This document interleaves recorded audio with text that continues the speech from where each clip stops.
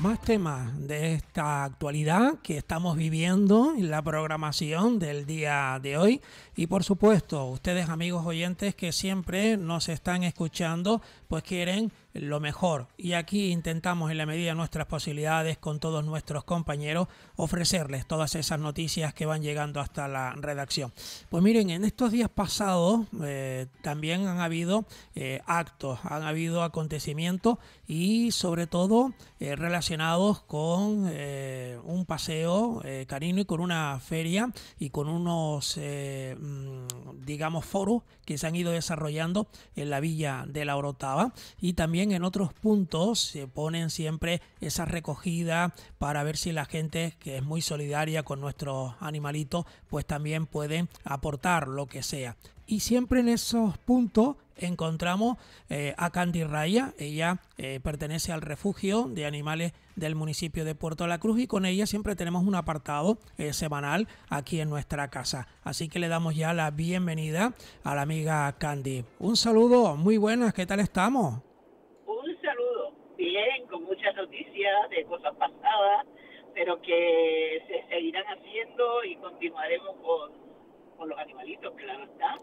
Sí, y además en estos días pasados también han sido muchas las muestras de cariño y de solidaridad con la isla bonita de La Palma, ¿no? El volcán que sigue allí y muchos eh, perros, muchos gatos, muchos animales eh, han sido rescatados y, claro, ahora hay que mantenerlos, ¿no? Cabras y, un montón de, animales, ¿no? Eh, en este caso, pues siempre... Nosotros, nosotros hemos colaborado eh, eh, con lo que se ha podido, claro está. Lo que pasa es que la Orotava se ha volcado un poquito, el ayuntamiento ha montado un stand en la plaza, pues, en el creo que, no estoy segura, ¿eh? Y en el puente, en el puente mejor. Y ahí se recogieron, en principio, pues eran unos 600 kilos y terminó en casi 8 toneladas de alimentos para los perros, 2 toneladas para las cabras y otros animales y se tuvo que trasladar eh, en cuatro camiones del ayuntamiento al paso, a La Palma. Eh, a la cabeza siempre y allí la concejala de, de bienestar animal que fue se trasladó allá para llevarlo. Claro, eh, eso es lo que empieza pero que se dé cuenta la gente que no quiere decir que ya esté cubierto los gastos de esos animales, ¿no? Porque los gastos animales son veterinarios también y medicina y ahora pues se seguirán comiendo, siguen comiendo también. Por lo tanto, esta semana pasada, el, el domingo, se hizo un paseo canino y se montaron unos stands y lo que se recogió se partió, aparte de las protectoras que fueron al paseo y que montaron esta, se repartió con la palma también. Eh, la concejala puso uh, camisetas para, para el paseo y lo que dividió, se dividió entre las protectoras y la palma. Y eso es bueno porque se ve las muestras de solidaridad con los animales y de hecho ya con el resto de la población se está haciendo. Eh, los, los animales son seres vivos y, hay que comer todos los días, mantenimiento también de veterinarios y demás, y muchos eh, con esto de los ruidos eh, están como las personas, ¿no? Que, que, están bastante afectados, ¿no? Porque les ha venido eh, todo esto encima, incluso ya no están en su zona de toda la vida, ¿no? En su ambiente, y, y, tú que conoces mucho porque estás en el, en el refugio, si tú sabes que esto cuando cambia eh, de domicilio o lo sacas de, del ámbito habitual, los animales también lo perciben, ¿no? Que no están en su sitio, ¿no? Bueno, tú date cuenta que también que son animales, la, eh, la mayoría, que están acostumbrados a estar en el campo, en, en un sitio con su familia, sueltos por los alrededores, y claro, el estrés es mucho mayor al verse cerrado en una jaula. Eso tiene que ser para ellos mortal, ¿no? Pero claro, es que no hay otra, o salvarlos o, dejarlos ahí. Y eh, después encontrar, los apartan de su familia, o sea, porque no todos han encontrado a su familia. Y es doble, es doble. Por muy bien que se cuiden, siempre están, están mal, claro. muchas veces hemos hablado, Candy, eh, de estos temas con autoridades, con eh, personas vinculadas a, otros refugios como tú, eh, personas autorizadas, ¿no? Que, han hablado mucho de, los animales, pero en la Vía Rotava hemos tenido en estos días un foro eh, en, las, en el auditorio nuevo que tenemos ahora en La Perdoma. Que se ha habilitado lo que fue en su día el cine de, de allí, de la localidad, y en este caso eh, han asistido eh, muchas personalidades. Tú estuviste también allí presente. Y claro, eh, ahora uno te pregunta, ¿qué conclusiones, qué, temas se abordaron? Porque los municipios tienen mucho que decir ahora mismo en este aspecto, ¿no? Como me dijo mi hija, están un poco verdes todavía, ¿no? A mí, a mí entonces yo digo lo mismo, todavía el primero es un poquito de, mirar, de tirar piedritas. De arranque, ¿no? De arranque, de arranque. Y entonces, pues, pero mm, te voy a decir, creo, tanto los ponentes eh, como los asistentes eh, pusieron el listón bastante alto, ¿eh? no esperábamos que estuviera tan bien. Y, pero eso también es un ayuntamiento, porque todos los ayuntamientos han tenido la misma oportunidad, ¿no? Ha sido el ayuntamiento de la Rotava, como casi siempre, el que toma la batuta y empieza a salir, ¿no? Eh, se espera de que se haga durante muchos años y que este sea el primero. Es más, se puso el premiar a un colectivo cada año y este año se premió al Seprona. Eh, claro, lógica, ¿no? el Seprona, después de que vino de Garachico para acá, que tiene la sede en, el, en la comandancia del Puerto la Cruz, eh, ha hecho un trabajo maravilloso con, con la protectora y, y, ha intentado entrar con ayuntamientos, tanto con perros, gatos, cabras, con todos se han, se han volcado a trabajar y desde se han unido tanto Seprona, veterinario, eh, algunos municipios, porque se invitó desde eh, Buenavista hasta La Laguna, se invitaron para venir a la, al foro, ¿no? Y después también estuvieron ponentes de, de la talla de Yajaira, eh, el Colegio Veterinario, el CES de Locato, José María de la Trailla, eh, Seprona, al cabo de Seprona, eh, ¿quién más? Espérate, porque es que ya pierdo el...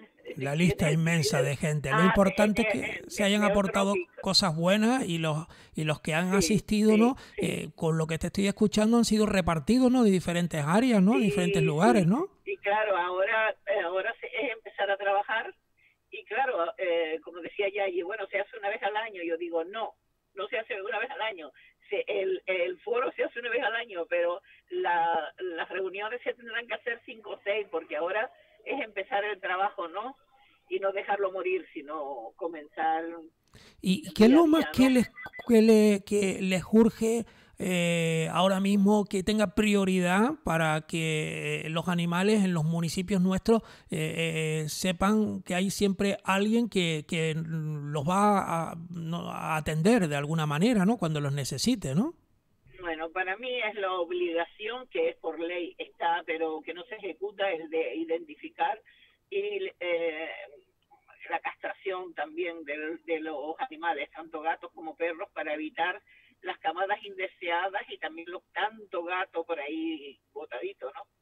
Entonces eso sería eh, castigar, castigar, pero no de boca, sino eh, multando a la gente que suelta sus perros, los bota a la calle, eh, los maltrata, todas estas cosas. Hay una persona, hay una fiscal que al parecer está trabajando bastante duro ahora y ha puesto bastante sanciones y ha está ayudando un poco también, pero eso es cuestión de todo, es una ley, ¿no? Es una ley animal. Entonces hay que cumplirla también. Y eso sería lo principal, la identificación y la castración. Eh, y después, pues claro, que cada municipio se involucre y que no seamos unos pocos los que cogemos los perros de todos los municipios. Claro. Que cada uno tenga al menos, eh, porque ¿qué sirve que, por ejemplo, estaba eh, o los realejos eh, estén dando dinero, como un ejemplo, ¿no? Entre otros, eh, estén dando dinero para hacer un, un refugio, para recoger los perros, campañas para identificar si luego otros no lo hacen y están los perros en la calle y los gatos y se vienen para acá o los traen para acá. Es que no hacemos nada, ¿no? Es cuestión de trabajar todos juntos, todos. Claro. Y una cosa, eh, Candy, mm, la gente salió contenta eh, de, todo esto y me imagino que habrán eh, tenido o, alguien que no haya podido asistir, pues a lo mejor se haya interesado. Lo importante es, como se suele decir, es mover todo esto a partir de ahora, ¿no? Ya los cimientos se acaban de poner, pero tendrá que tener una continuidad, como dices tú, ¿no? Claro, claro, ese es el caso no dejarlo porque si lo esperas al año que viene de que vuelvan a hablar, ahora hay que mirar una cosa, eh, eh, poner qué fue bueno y qué fue mm, malo y qué fue medio, ¿no? Entonces, unir entre todos eh, los temas que se trataron, cuál es la problemática en cada municipio y de ahí empezar a trabajar, pero no empezar a trabajar como decir, bueno, vale, sí, yo doy eh, tres mil euros y que cojan los perros. No, eso no. ¿Me comprende? Tiene que ser que sean personas, además, que cuando se hacen, em, se da la concejalía, que esa concejalía sea em, que le gusten los animales o que quiera trabajar con los animales. Ya. Bueno, Candy. Y otro de los temas también eh, que yo lo decía en la entradilla del programa del día de hoy, en esta conexión que estamos haciendo con eh, Candy Raya desde el Refugio de Animales de Puerto de la Cruz, es que eh, es fácil verle a ustedes, no solo tu refugio, sino también otros que están por toda la isla de Tenerife, porque muchas veces los vemos en centros comerciales, los vemos por otros por otros sitios, digamos, eh, esperando que venga la gente, que les deje a lo mejor comida, sobre todo que no, que no caduque, ¿no? Que, que, sean comidas eh, que puedan, eh, o, o otros enseres por ejemplo, que sean apropiados para los perros, para los gatos, porque hay una gran demanda ¿eh? y gracias a la solidaridad de muchísimas personas, incluso hasta en supermercados y en sitios eh, puntuales, como por ejemplo en esta Villa Orotava, en este paso fin de semana, en ese paseo canino también que vivieron una serie de stands y donde la gente fue a disfrutar de un paseo llevando a su perro eh, por las calles, ¿no? Sí, el primero es el alcalde, el señor Linares, que llevaba su perrito también eh, el primero. y también otros concejales y otra gente que todos de todos municipios fueron. Eh, se, se cree que hubo, eh, estamos hablando de visita en el día a un sitio y date cuenta que estaba lo de lo del cosmos, ¿no? Arriba. En sí, la, Feria de la Ciencia, sí. Se espera, se cree que hubo unos 3.000 personas. Eh, tú date cuenta que eh, la gente le gusta mucho los perritos, pero cuando se acerca al estante pide un caniche o un chihuahua. Hay que entender también que hoy no se permite en los apartamentos perros, que no se permite mm, que te, vas a trabajar y no vas a dejar un apartamento de 50 o 60 metros, un perro todo el día grande cerrado y muchas cosas, ¿no? Hay mucha, hay demasiado. Eh, es una clara y una oscura y hay que mirar todo eso. No están enseñados, lo, lo, se educa a los animales eh, y tantas cositas, pero bueno eh, poquito a poquito ahora se, lo que se está intentando es la mentalización a los niños, ¿no? Y entonces explicarles, explicarles que los animales eh, son amigos, y pero son uno más de la familia y que hay que tratarlos como animales también, ¿eh? Hay que pensar que son animales, no son eh, personas que vienen educadas y que ya saben dónde se sientan y cómo comen, ¿no? Y eh, empezar por los colegios, empezar haciendo mm, eventos donde los niños puedan estar y ver lo que es un animal, lo que cuesta cuidarlo y todas esas cositas. No comprar al niño como ahora en Navidades, que ahora el niño dice que quiere un perrito y le compran el perrito y se gastan un dineral para comprar el perrito. Y después cuando llega un mes determinado ya no lo pueden mantener y, lo dejan por ahí suelto. La Semana Santa y el verano ya están todos los perros en la calle, claro. Claro. Pero mira, el tema este de, de ustedes que suelen ir siempre y se les ve con esos stands, eh, esto es bueno que a lo largo de todo el año hayan diferentes puntos donde la gente pueda ir y, darles a ustedes pues comida y, enseres, ¿no? Para que puedan no seguir. Hay, no hay todos los que querríamos nosotros que haya. Eh, tú date cuenta que son hay muchísimas, muchísimas protectoras, no solo protectoras, sino refugios también y entonces, eh, si nosotros no vamos y montamos un stand, eh, ¿de dónde comen los animales? Eh, hay muy pocas subvenciones y no todo llega. Yo no llego a las subvenciones, a mí no me llegan. Pero si no hay dinero para mantener esos animales, ¿de qué comen? Porque tú también tienes que comer, ¿no? Y a veces sacas de tu bolsillo y muchas veces muchas para que los animales. ¿Y la gente responde eh, a este tipo de llamadas de ustedes cuando los vemos por ahí en cualquier eh, lugar? No lo sé. Yo creo, en, en el momento sí. En el momento llega mucha gente, te entiende, ay, qué bien, voy a estar, voy a ir, eh, mm, te voy a llevar de la próxima semana comida, pero de lo que lo dicen a los que van, vamos a poner un 3%. En realidad, ahora sí te voy a decir, un, caso aparte es el refugio de nosotros en el puerto, ¿eh?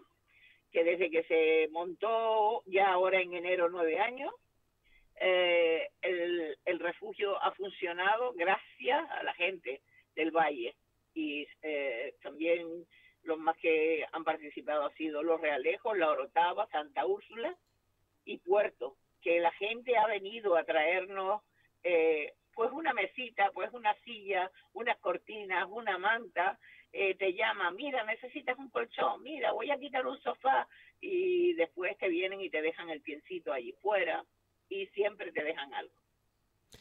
Pues la verdad que que estamos viendo como todavía hay gente buena, ¿eh? Y que aman los animales, algunos no los pueden tener en casa, pero colaboran y algunos hasta se atreven a dar un paseíto cuando se les permite por parte de los refugios y, eso también se agradece para los perros que están esperando allí que algún día puedan tener también eh, un hogar. Pues Candy eh, Raya, ¿algo más? Eh, te explico, los míos son muy viejitos, ¿eh? Porque como nosotros tenemos eutanasia cero, el problema que tenemos es que los perros todos no sean, el que no se han adoptado llegan hasta 10 y 11 años con nosotros, pero sí pueden ir al refugio, sentarse con ellos, bañarlos, peinarlos, jugar con ellos, eh, no sé, muchas cosas porque ellos sí quieren que los quieran. Pues muchísimas gracias por tu aportación, por charlar hoy con nosotros en este tiempo de radio aquí en la FM 107.9 de Radio Realejo y también en internet en radiorealejos.com, en el canal de YouTube y también en las redes sociales eh, que tenemos siempre a disposición para que los amigos oyentes sigan escuchando nuestra casa, la de Radio Realejo. Candy Raya, desde el Refugio de Animales de Puerto La Cruz. Un placer como siempre escucharte y que los amigos oyentes que hayan estado en nuestra sintonía, pues que se lleven ese concepto de que hay que seguir apoyando a estos refugios, a todos los que aman los animales y que no hagan locuras, ¿eh? que se lo piensen dos veces, que es un ser eh, vivo y que no hay que jugar con ellos. Si no se puede, no se adopta. Y es preferible que sea otra persona quien lo coja para que tú lo cojas dos meses y luego lo tiras a la, a la calle como hemos pasado y viendo a muchos perritos por ahí abandonados cuando vamos caminando. Candy Raya, un placer como siempre. Cuídate mucho, enhorabuena y felicidades. Un saludo para todos. Gracias.